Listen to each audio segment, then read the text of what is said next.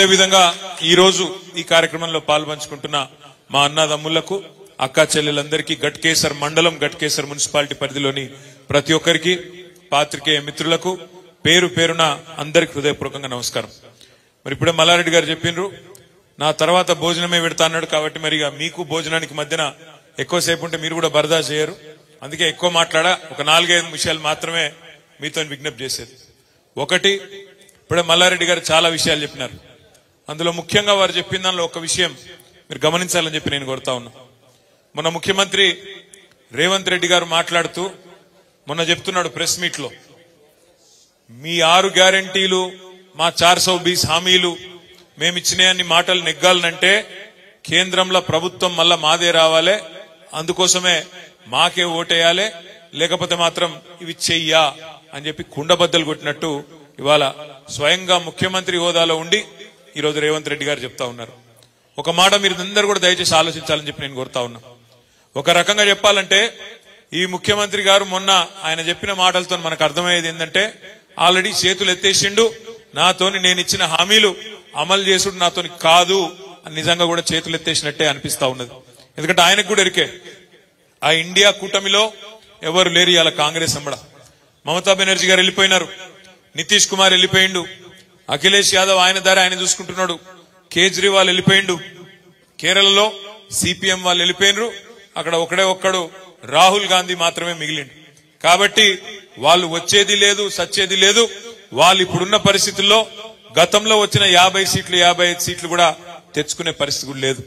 ఇవాళ నిజంగా కేంద్రంలో బీజేపీని ఆపే సత్తా ఎవరికైనా ఉంది అంటే బలమైన ప్రాంతీయ నాయకులు కేసీఆర్ గాని మమతా బెనర్జీ గాని కేజ్రీవాల్ గాని ఇట్లాంటి నాయకులకు ఉన్నది తప్ప కాంగ్రెస్ పార్టీకి ఆ సత్తా ఎంత మాత్రం కూడా లేదు. అందుకే నేను మీ అందరినీ ప్రార్థించేది మొన్న ఎట్లా అయితే మల్లారెడ్డి గారికి బ్రహ్మాండమైన మెజారిటీనిచ్చి గెలిపించినరో ఎంత మంది కొట్లాడినా అవన్నిటిని బేఖాతరు చేసి అందరు కలిసి కట్టుకు కొట్లాడినరో అదే విధంగా రేపటి రోజున పార్లమెంట్ ఎన్నికల్లో కూడా ఇవాళ బీజేపీకి చెక్కు పెట్టాలి అంటే బీజేపీకి ఎందుకు చెక్ పెట్టాలి? కేంద్ర ప్రభుత్వానికి అనే మాట కూడా మీరు అడగచ్చు. తప్పకుండా చెప్పవలసిన బాధ్యత మీద ఉంది. ఇవాళ మీరు చూస్తున్నారు కృష్ణా నది మన రాష్ట్రంలో ప్రవహిస్తుంది. గోదావరి నది ఇంకోవైపు ఒకవైపు కృష్ణా నది. ఈ రెండు జీవనదులే మన తెలంగాణలో రైతుకు ప్రాణాధారం. అట్లాంటి కృష్ణా నదిలో ఇప్పటి వరకు గత పదేళ్ళలో తెలంగాణ రాష్ట్రం ఏర్పడ్డాక ఆ కృష్ణా నదిలో మా వాటా ఎంత? ఉమ్మడి ఆంధ్రప్రదేశ్ నుంచి ఏర్పడ్డ తర్వాత అల్లగైన తర్వాత మా వాటా ఎంత అంటే వాటానేమో తేల్చలేదు. మోడీ గారు పదేళ్ళలో కనీసం కృష్ణా జలాల్లో తెలంగాణ హక్కు ఎంత వాటా ఎంత అని తేల్చే టైం ఆయనకు లేదు. లేకపోగా నిన్న రేవంత్ రెడ్డి గారు ఢిల్లీకి పోయి నిన్న వచ్చింది బయటికి వార్త. కేఆర్ఎంబి అని ఉంటది కృష్ణా రివర్ మేనేజ్మెంట్ బోర్డు అని. మన వాటా తేల్చకుండానే మన నీళ్ళెంతో లెక్కలు చెప్పకుండానే ఇవాళ కృష్ణా రివర్ మేనేజ్మెంట్ బోర్డుకి ఆ కృష్ణా జలాలను అప్పజెప్పి రేపు ఏ ప్రాజెక్ట్ కట్టాలన్నా అక్కడికి వెళ్ళి ఒక చుక్క నీరు తీసుకోవాలన్నా ఢిల్లీ ఓన్ చేతిలో మన జుట్టు పెట్టి ఇలా ఈ ముఖ్యమంత్రి గారు మన ప్రయోజనాలను మన రాష్ట్ర ప్రయోజనాలను ఢిల్లీకి తాకట్టు పెట్టి వచ్చినాడు.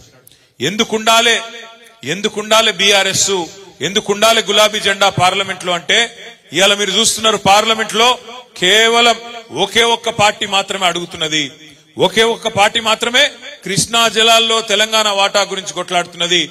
అది మన గులాబీ జెండా వేసుకున్న మన ఎంపీలే తప్ప ఇంకెవ్వరు కనీసం మాట్లాడతలేరు. కాంగ్రెస్ ఎంపీలు లేరు. బీజేపీ ఎంపీలేమో మాట్లాడే పరిస్థితి లేదు. అందుకే ఈ రెండు జాతీయ పార్టీలను నిలదీయాలన్నా కేంద్రంలో మన హక్కుల కోసం మాట్లాడేటోడు ఉండాలన్నా అక్కడ నిలదీసేటోడు ఉండాలన్నా ప్రశ్నించేటోడు ఉండాలన్నా గల్లా బట్టి అడిగేటోడు ఉండాలన్నా రాష్ట్రానికి కావాల్సిన తెచ్చేటోళ్ళు ఉండాలన్నా ఈ గులాబీ జెండా వల్ల అయితే తప్ప కాంగ్రెస్ పార్టీ వల్లనో బీజేపీ వల్లనో కాదు. రాజ్యాంగబద్ధంగా చట్టబద్ధంగా మనకు రావాల్సిన ఇట్లా వస్తాయి.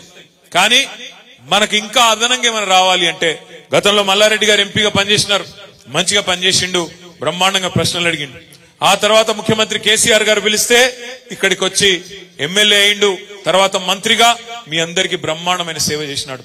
ఇలా ఆయనతోని మేము ఇవ్వాలని కూడా పోటీ పడే పరిస్థితి లేదు మల్లారెడ్డి గారితో ఎందుకంటే ఆయన మా అందరికంటే యువకుడు ఉత్సాహవంతుడు మా అందరికంటే మా అందరికంటే ఎక్కువ ఉరుకులాడతాడు.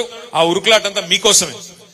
ఎప్పుడు కలిసినా ఎక్కడ కలిసినా గత పదేళ్ళలో మా మేడ్చల్ నియోజకవర్గం ఆ రోజు పార్లమెంట్ మెంబర్ ఉన్నప్పుడు గాని ఎమ్మెల్యే ఉన్నప్పుడు గాని మా మేడ్చల్కి ఇది కావాలి మా గట్కేసర్కి అది కావాలి మా జవహర్ నగర్కి ఇది కావాలి మా బోడుప్పల్కి అది మా ఫిర్జాది కూడా ఇది మా పోచారంకు ఎప్పుడు చూసినా పది మున్సిపాలిటీలు అదేవిధంగా అరవై ఒక్క గ్రామ పంచాయతీలు వాటికి సంబంధించిన పనులు తప్ప మరి పూర్తి స్థాయిలో ప్రజల కోసమే సిన్సియర్గా పనిచేసిన మల్లారెడ్డి గారు తప్ప వేరే ఎన్నడూ కూడా పని చేయలేదు. వాళ్ళ సొంత డబ్బులు పెట్టి సొంత డబ్బులు పెట్టి నూట ఇరవై ఐదు గుడులు కట్టించిన దాదాపు అరవై డెబ్బై కోట్ల రూపాయలు ఖర్చు పెట్టి సీసీ రోడ్ లేచినా ఆయన కమిట్మెంట్కి ఇదంతా కూడా నిదర్శనం అనే మాట కూడా నేను మీకు విజ్ఞప్తి చేస్తా ఉన్నా. రేపటి రోజున కూడా రేపటి రోజున కూడా మల్లారెడ్డి గారు గాని రాజశేఖర రెడ్డి గాని రాజు గాని నేను గాని మీ అందరికి ఇచ్చే మాట ఒకటే. ఈ ప్రభుత్వం ఈ నాలుగు వందల ఇరవై హామీలిచ్చి దొంగ హామీలిచ్చి చేయలేమని తెలిసి కూడా హామీలిచ్చి ప్రజలను మోసం చేసి వాళ్ళ అధికారంలోకి వచ్చి వచ్చిన తర్వాత మమ్మల్ని పార్లమెంటులో అక్కడ పదిహేడు సీట్లు గెలిపిస్తేనే చేయగలుగుతాం లేకపోతే చేయలేమని చేతులు ఎత్తేసిన రేవంత్ రెడ్డి ప్రభుత్వానికి బుద్ధి చెప్పవలసిన బాధ్యత మన మీద ఉన్నది. ఇదే మాట ఎన్నికలకు ముందు చెప్తే ప్రజలు ఓట్లేస్తుండేనా? ఆలోచించమని చెప్పి నేను కోరుతున్నా.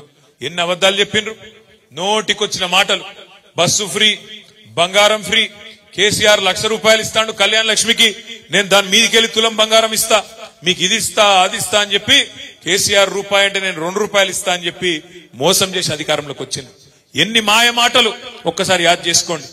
ఏమన్నాడు అన్నాడు డిసెంబర్ తొమ్మిది నాడు నేను అధికారంలోకి వస్తున్నా. రైతులు ఇప్పటిదాకా రుణం తీసుకున్న లెవెల్ ఉంటే అర్జెంట్గా ఓన్రి బ్యాంకుకు రెండు లక్షల రుణం తెచ్చుకోండి. నేను చెప్తున్నా నేను ఒక సంతకంతో మాఫీ చేస్తా. డిసెంబర్ తొమ్మిది నాడు అన్నాడు. డిసెంబర్ తొమ్మిది పోయింది. జనవరి తొమ్మిది పోయింది. ఇంకో వారం అయితే ఫిబ్రవరి తొమ్మిది వస్తుంది. ఇప్పటి వరకు అతి లేదు గతి లేదు రైతు రుణమాఫీ. ఆడబిడ్డలకు చెప్పిండు. ఏమన్నాడు? మహాలక్ష్మి అనే పథకం తెస్తా. రెండు వేల ఐదు వందల రూపాయలు ఇస్తా నెలకు కోడళ్ళకు. అత్తలకేమో నాలుగు వేలు. కోడళ్ళకు రెండు వేల ఐదు వందల రూపాయలు ఇస్తా అని చెప్పిండు. చెప్పిండా లేదా? మరి ఇప్పటివరకు చాలా అయిందా? వంద రోజులు అన్నారు. వంద రోజులు కూడా చూద్దాం. తొందర ఏం లేదు. మార్చి పదిహేడుకు వంద రోజులు నిండుతుంది. రాష్ట్రంలోని కోటి యాభై ఏడు లక్షల మంది ఆడబిడ్డలు ఎదురు చూస్తాను పద్దెనిమిది ఏళ్ళు నిండిన ఆడబిడ్డలు కోటి యాభై ఏడు లక్షల మంది ఓటర్ లిస్ట్లో నమోదు చేయించుకున్న వాళ్ళు ఉన్నారు. వాళ్ళందరూ ఎదురు చూస్తున్నారు. మా ఖాతాల్లో నెలకు రెండు వేల ఐదు వందలు వేస్తాడా లేదా మళ్ళేమైనా కథలు పెట్టి కటింగ్లు పెడతాడా అని చెప్పి ఆడబిడ్డలు కూడా ఎదురు చూస్తా ఉన్నారు. అదే విధంగా ఫ్రీ సి- ఐదు వందల రూపాయలకు సిలిండర్ అన్నారు. ఇంకా చాలా మాటలు చెప్పింది ఒకటి రెండు కాదు. రైతులకైతే బోనస్ క్వింటల్కి ఐదు వందల బోనస్ అన్నారు. రైతు కూలీలకు పన్నెండు వేలు అన్నారు.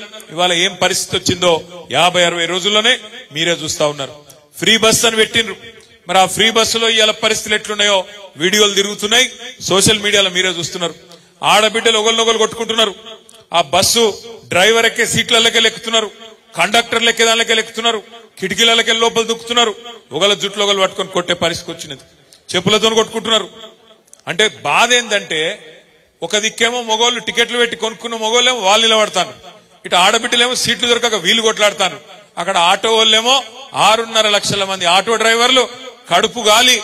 ఆఖరికి నిన్న ఒక ఆయన ఆటో కూడా తీసుకుపోయి ముఖ్యమంత్రి గారు డిప్యూటీ సీఎం గారి ఇంటి దగ్గర తీసుకుపోయి అక్కడ వాళ్ళ ఇంటి ముంగటనే కాల్ చేసిన పరిస్థితి వచ్చింది. యాభై అరవై రోజుల్లోనే ఇలా ఇంత వ్యతిరేకత ఈ ప్రభుత్వం మీద మూట కట్టుకొని ఈ ప్రభుత్వానికి బుద్ధి చెప్పడానికి ప్రజలు సిద్ధంగా ఉన్నారు. ఒకటి మాత్రం వాస్తవం. వీళ్ళు ఇచ్చిన చార్ సో బీస్ హామీలు. వాళ్ళు ఇచ్చిన ఆరు గ్యారంటీలు కాదు చాలా మంది తమ్ముళ్ళు తెలియక మాట్లాడుతున్నారు ఆరు గ్యారంటీలని ఆరు గ్యారంటీలేమో నూరు రోజులలో అమలు చేస్తామన్నారు. ఒక నాలుగు వందల ఇరవై హామీలు. యూత్ డిక్లరేషన్ అని ఎస్సీ డిక్లరేషన్ అని ఎస్టీ డిక్లరేషన్ అని మైనారిటీ డిక్లరేషన్ అని రైతు డిక్లరేషన్ అని మహిళా డిక్లరేషన్ అని చెప్పి విడుదల చేసి నాలుగు వందల ఇరవై చార్ సౌ బీస్ హామీలు ఇచ్చి ఇవాళ రేవంత్ రెడ్డి అక్కడ గద్దెనెక్కి ముఖ్యమంత్రి అయింది ముఖ్యమంత్రి అయిన తర్వాత ప్రజలకు పనికొచ్చే పనులు చేయకపోగా పనికి మాటలు మాట్లాడుతూ ఉన్నాడు. ఆయన అంటాడు కేసీఆర్ను బీఆర్ఎస్ను వంద మీటర్ల లోపల బొంద పెడతా పాతి పెడతా అని మాట్లాడుతున్నాడు.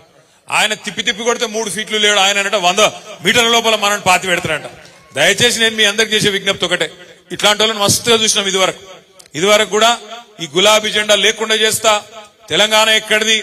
అట్లా ఇట్లా అని అడ్డం పొడుగు మాట్లాడిన వాళ్ళు ఈయనకంటే పెద్ద పెద్ద తీస్మార్ ఖాన్లు ఉండే ఇదివరకు. రెండు వేల ఒకటి నుంచి రెండు వేల పద్నాలుగు దాకా వాళ్ళతోనే కొట్లాడినాం. అట్లాంటి తీస్మార్ ఖాన్లనే ఇలా మాయం చేసి తెలంగాణ తెచ్చిన కేసీఆర్ ఖాన్ కేసీఆర్కు ఈ బుడర్ ఖాను పెద్ద లెక్క కాదు అనే మాట కూడా నేను మీకు విజ్ఞప్తి చేస్తా ఉన్నా. నేను మీ అందరికి ఒకటే విజ్ఞప్తి చేస్తా ఉన్నా. ఇప్పుడు మల్లారెడ్డి గారు గొప్ప మాట చెప్పిండు. ఎవరికి ఏ కష్టం వచ్చినా నేనుంటా అవసరమైతే ఎక్కడికి రమ్మంటే అక్కడికి వస్తాను మల్లారెడ్డి గారు ఏ మాట అయితే చెప్పిండో మేడ్చల్లో అదే రకంగా రాష్ట్రంలో ఏ కార్యకర్త మీద దొంగ కేసులు పెట్టినా ఎవలను ఇబ్బంది పెట్టినా ఇప్పుడు మా తమ్ముడు శివాని ఇబ్బంది పెట్టినట్టు ఎక్కడ ఎవరు ఇబ్బంది పెట్టినా మొన్ననే చెప్పినా మళ్ళా చెప్తా ఉన్నా ముప్పై ఎనిమిది మంది ఎమ్మెల్యేలం ఇరవై ఏడు మంది ఎమ్మెల్సీలం బస్ వేసుకుని వస్తాం ఎవ్వలకు అన్యాయమైనా ఎవ్వలకు ఇబ్బంది అయినా మీ కండగా నిలబడే బాధ్యత మాది. ఎందుకంటే ఈ పార్టీ ఈ పార్టీ ఏ ఒక్కల పార్టీ కాదు. ఈ పార్టీ తెలంగాణ ప్రజల ఆస్తి తెలంగాణ ప్రజల సొత్తు ఇది. తెలంగాణ కెన్నటికైనా శ్రీరామ రక్ష ఈ గులాబీ జెండా. తెలంగాణ గురించి గొంతెత్తి మాట్లాడాలంటే అది గల్లీలో కావచ్చు ఢిల్లీలో కావచ్చు గులాబీ జెండా వేసుకున్నాం అనుకుండే ధైర్యం వేరే వాళ్ళకు ఉండదు అనే మాట కూడా నేను మీకు విజ్ఞప్తి చేస్తా ఉన్నా. ఎందుకంటే మన బాసులు గుజరాత్ లోనో ఢిల్లీలోనో లేరు. భయపడవలసిన అవసరం లేదు. మనకెవరున్నారు బాసులు? గల్లీలో ఉండే తెలంగాణ ప్రజలే మన బాసులు. మీకు మేం జవాబుదారు తప్ప ఎవడో ఢిల్లీలో గుజరాత్లో ఉండే పెద్ద పెద్దలకు భయపడే పరిస్థితి మనకు ఉండదు. అందుకే నేను మీకు విజ్ఞప్తి చేస్తా ఉన్నా. ఇవాళ అంటున్నారు కొంతమంది. పార్లమెంట్ లా బీఆర్ఎస్ కింద కోటేయాలి ఎందుకు వేయాలి బీఆర్ఎస్ కోటు పార్లమెంట్ లా అంటే రేపు అక్కడ తెలంగాణ అన్న మాట వినవాడాలంటే తెలంగాణ హక్కుల కోసం ఢిల్లీతో కొట్లాడాలంటే ఢిల్లీలో మళ్ళొక గొర్రెలాగా పోయి ఉండకుండా అక్కడ ఉండి గట్టిగా మాట్లాడేటోడు కావాలంటే ఈ గులాబీ జెండా కప్పుకున్నోడు అయితే తప్ప వేరే వాళ్ళ వల్ల కాదు. చూసినాం మనం. మీరు చూడండి. ఇవాళ నలుగురు ఎంపీలు ఉన్నారు బీజేపీ మన రాష్ట్రం నుంచి. ముగ్గురు ఎంపీలు ఉండే కాంగ్రెస్ వాళ్ళు మన రాష్ట్రం నుంచి. వాళ్ళందరూ కలిపి ఏడుగురు కలిపి తెచ్చింది ఏందయ్యా మన రాష్ట్రానికి అంటే గుండు సున్నా. పోయినసారి ఇదే రేవంత్ రెడ్డి గారు మల్కాజ్గిరిలో అన్నాడు ప్రశ్నించే గొంతునైతా అన్నాడు. ప్రశ్నించలేదు మను లేదు. కేసీఆర్ను తిట్టుకుంటూనే తిరిగిండు మాయ మాటలు చెప్పిండు. ఆఖరికి ఆ మాయ మాటలతో ప్రజలను బురిడి కొట్టించి ఇలా ముఖ్యమంత్రి అయిండు. ముఖ్యమంత్రి అయినాక కూడా అదే మాయ మాటలు. ముఖ్యమంత్రి అయినాక కూడా మళ్ళీ అదే మోసంపూరితమైన మాటలు. ఏమంటున్నాడు? ఒక దిక్కేమో కేసీఆర్ అప్పుల పాలు చేసిండంటాడు. లంకె బిందెలు ఉన్నాయి అనుకుని వచ్చినాం. ఇక్కడ ఖాళీ కుండలు ఉన్నాయి అంటున్నాడు. నాకు తెలియక అడుగుతా దయచేసి మీరందరు చెప్పాలా? లంకె బిందెల కోసం ఎవరు తిరుగుతారన్నా? లంకె బిందెల కోసం సాటుకు సాటుకు అర్ధరాత్రి గడ్డపారలు పట్టుకొని తటపారలు పట్టుకొని నెత్తి మీద బట్టలు కప్పుకొని పాత గడిలల్లా పాత గుడులల్లా పాత కోటలల్లా తిరిగే దొంగలు ఇవాళ దురదృష్టవశాత్తు మరి అధికారంలోకి వచ్చిర్రు కాబట్టే లంకె బిందెలు ఉంటాయి అనుకొని వచ్చినాం అనే మాటలు దిక్కుమాలిన మాటలు. ఒక ముఖ్యమంత్రి నోటి నుంచి మాట్లాడవచ్చునా. లంకె బిందెలు ఉంటాయి అనుకొని వచ్చినాం. ఖాళీ కుండలున్నాయి. రేవంత్ రెడ్డి గారికి చెప్పాలి మనం? అయ్యా లంకె బిందెలు ఉండవు సెక్రటేరియట్లో సెక్రటేరియట్లో కంప్యూటర్లు ఉంటాయి సెక్రటేరియట్లో పేపర్లు ఉంటాయి సెక్రటేరియట్లో జీవోలు ఉంటాయి నీకు చిత్తశుద్ధి ఉంటే ఇచ్చిన హామీలు చార్ సౌ బీస్ హామీలు ఏవైతున్నాయో వాటిని నిలబెట్టేందుకు పని చేయి తెల్లారు లేస్తే పనికి మాలిన మాటలు. కేసీఆర్ ఇది చేసిండు కేసీఆర్ అది చేసిండు. కేసీఆర్ ఏం చేసిండో ఏం చేయలేదో ప్రజలకు తెలుసు. నువ్వేం చేస్తావో చెప్పు. ఇచ్చిన నాలుగు వందల ఇరవై హామీలు నిలబెట్టుకుంటావా లేదా చెప్పు. ఇచ్చిన ప్రతి ఒక్క హామీని నువ్వు మోసం చేస్తే ప్రజల తరఫున తప్పకుండా నిలబడతాం తప్పకుండా నిలదీస్తాం తప్పకుండా వెంటాడుతాం. మొన్న శాసనసభలు ఎట్లయితే అబద్ధాలు చెప్పి తప్పించుకునే ప్రయత్నం చేస్తే అక్కడ మేమందరం నిలబడి గట్టిగా మాట్లాడినాము రేపటి రోజున కూడా బడ్జెట్ సమావేశాల్లో కావచ్చు తదుపరి కావచ్చు ప్రజల తరఫున ఎప్పటికప్పుడు మీకిచ్చిన ప్రతి హామీని నిలబెట్టేదాకా ఎంబడబడతాం. ఈ దివాలా కోరు మాటలు మాకు ఓటేస్తేనే నిలబడతాం. మా కోటేస్తేనే వంద మన చార్సో బీస్ గ్యారంటీలు అమలు చేస్తాం అనే మాట ఏదైతే ఉన్నదో ఇది ఎలక్షన్ల ముందే చెప్పింటే ఆనాడే ప్రజలు నేను జాడించి తంతుండే. ఇవాళ నువ్వు ఎన్ని మాయ మాటలు చెప్పినా ఎన్ని దొంగ మాటలు చెప్పినా తప్పకుండా తెలంగాణ ప్రజలకు ఇప్పటికే అర్థమైంది. ఊర్లలో బాధపడుతున్నారు. అయ్యో కేసీఆర్ గారు ముఖ్యమంత్రి లేరు అంటే మాకు అర్థమైతలేదు కేసీఆర్ లేడా? అట్లెట్లా జరిగిపోయి? మా చెల్లెలు ఇప్పుడు బాగా చెప్పింది లక్ష్మి. కొమ్మను ఎక్కడ కుమ్మమే దెబ్బ పడుతుంది అనుకున్నాం గాని అసలు చెట్టే కింద పడిపోతుంది అనుకోలేదన్నా అక్కడక్కడ తాత్కాలికంగా లోకల్ కోపాలతోని లోకల్ ఇబ్బందులతో జరిగింది తప్ప వేరేది కాదు అన్న మాట చెప్పింది. భవిష్యత్తులో ఆ లోపం కూడా జరగకుండా చూసుకోవాలంటే మన గొంతు ఎప్పటికప్పుడు వినబడుతూనే ఉండాలి. రాబోయే రోజుల్లో ఏ ఎలక్షన్ వచ్చినా కౌన్సిలర్ ఎలక్షన్ వచ్చినా కార్పొరేటర్ ఎలక్షన్ వచ్చినా ఎంపీటీసీ వచ్చినా జెడ్పీటీసీ వచ్చినా పార్లమెంట్ ఎన్నిక వచ్చినా మనందరం కూడా గట్టిగా నిలబడి గులాబీ జెండా కప్పుకున్న అధికారికంగా గులాబీ జెండా కప్పుకున్న వాళ్ళకే ఓటేసి గెలిపించుకుంటేనే మన గొంతు ఉంటది మన వాణి ఉంటది.